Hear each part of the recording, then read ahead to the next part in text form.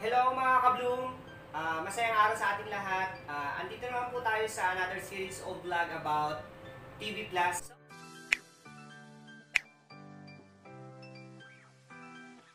mga ka-bloom, bago natin tuluyang i-install, ah, check muna natin, i-unbox muna natin yung ating lumang TV Plus. So, ito po yun. Aha. So, lumang-luma. Ayun nga, ah, ang nakalagay pa dito ang mahiwagang black box. And then, uh, TV Plus na naka-smile, UV. Ah, tapos, yun, ABS-CBN TV Plus. Sa likod, ah, nakalagay dito, clear di- digital picture and sounds. Ah, ito yung analog, malabo, yung maraming mga ano, ulan-ulan, pixelized.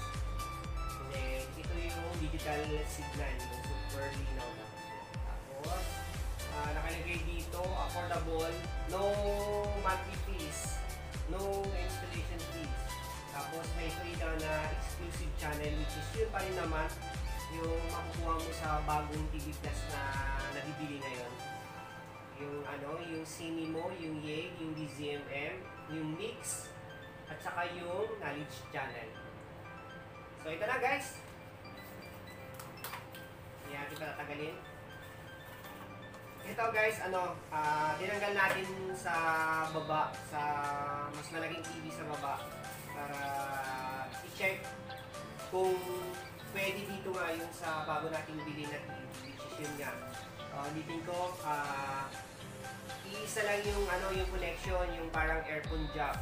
So, ano ba yung pwede nating magawa para mapagana natin yung TV Plus? So, ito, it comes with ah, remote. Yung antenna, ganun pa rin naman.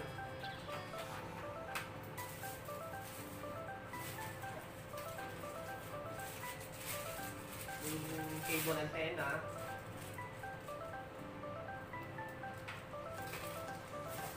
Then, yung RCA cable,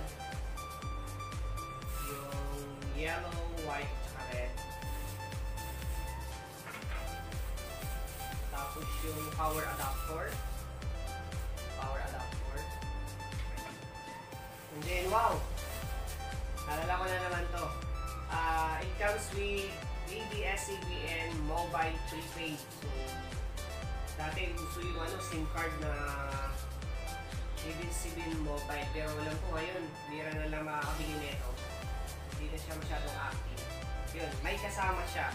Pang ano mo before, pang text mo to register the 5 exclusive channels. Kaya siya merong SIM card. Then, yun. How to register.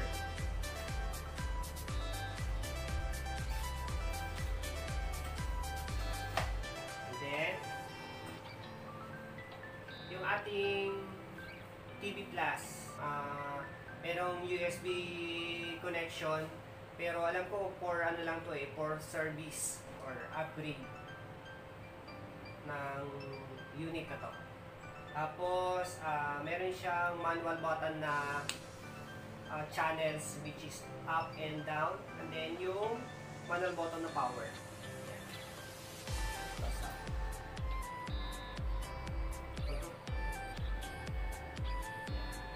So, yun guys, ito na.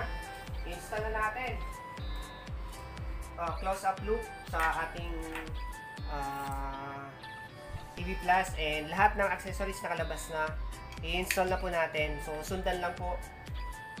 Pakisundan na lang po ito power cord. Kabit na natin yung antenna. So, bilisan lang po natin.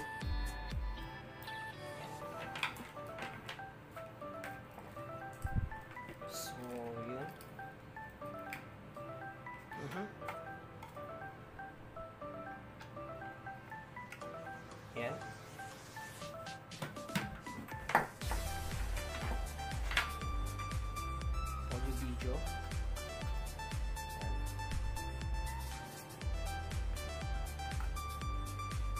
Kita ba guys?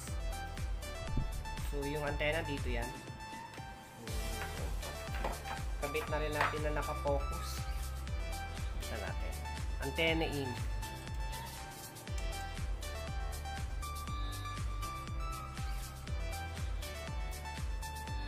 Yan. All sets na, na-install na lahat, na i-connect na lahat. So, papaganahin na lang natin. Ayun. Mamaya natin i-reveal kung ano yung ano, yung tamang connection para mai-connect natin tong tatlong RCA cable dito sa TV. So, yan. Papakita ko mamaya. Pupwesto muna natin na maayos. Ayan.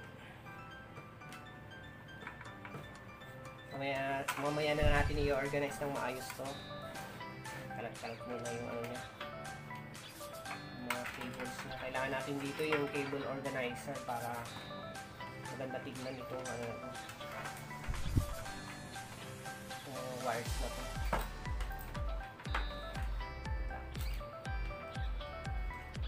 Ito, lalag itong antena, lalagay natin sa ano, labas ng bintana.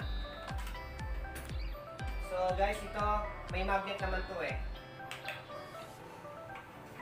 Lalagay natin sa labas ng bintana. Then, yun, yun, medyo ma, ano na, maayos ng tignan. Gabit ko na yung ano, power cord.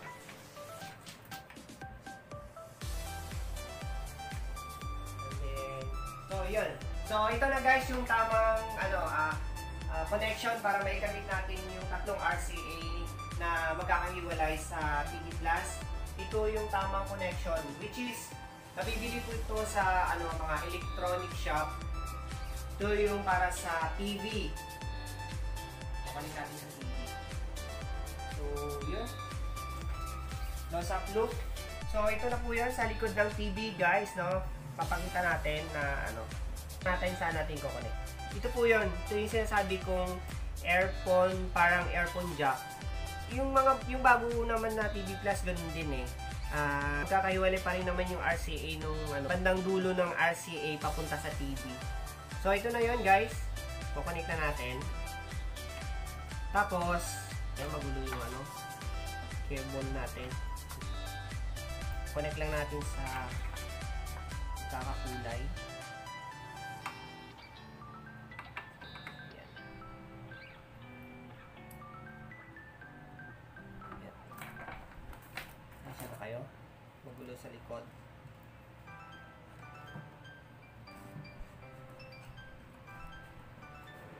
So, yun na nga guys, no? Nakakabit na, nakita natin. Pinakita natin yung connection, paano natin kinabit sa likod. So, open na natin yung TV. Power on. And then sa TV Plus.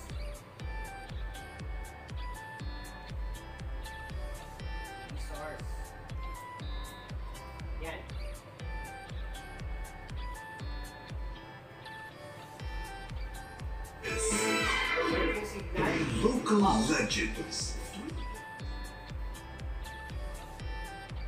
Ayan na po siya, gumagana na po siya.